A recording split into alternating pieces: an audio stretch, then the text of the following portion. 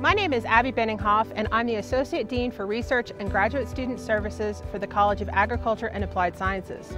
And I'm Sean Johnson. I'm the Associate Dean for Graduate Studies in the College of Science. We're here today to introduce you to the Empowering Teaching Excellence Explore course, a brief introduction to teaching at USU. All graduate students in our colleges are asked to participate in this program because teaching is an essential mission at Utah State. And you will have opportunities to contribute to the teaching mission in the classroom, in the laboratory, at the farm, or in the field, working with fellow graduate students and undergraduates. The Office of Empowering Teaching Excellence, or ETE, elevates and promotes a culture of teaching excellence through events, programs, and training for faculty and students. As part of ETE's mission, they offer a digital badging program to promote professional development in teaching.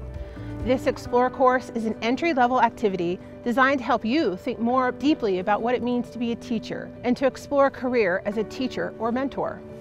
The Explore course consists of several videos with interviews from some of our most highly regarded and successful instructors at USU.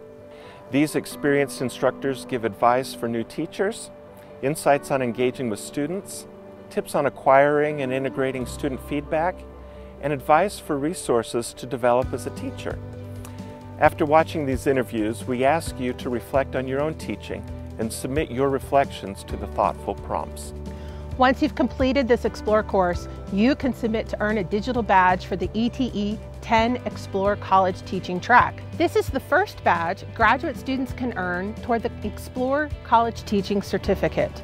You may choose to continue your personal professional development in teaching by continuing in the ETE 10 digital badging program at your own pace over the course of your graduate degree program.